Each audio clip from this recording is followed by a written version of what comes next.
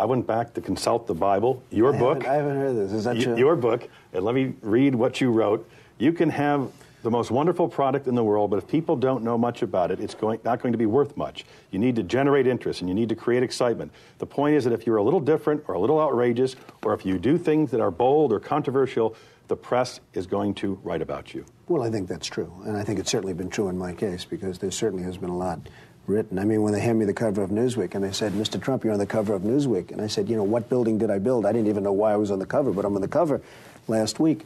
And it is sort of amazing, as you have already said, what's happened. I mean, there has been a lot of hoopla and a lot of stir. And, but it's something I'm very, very serious about.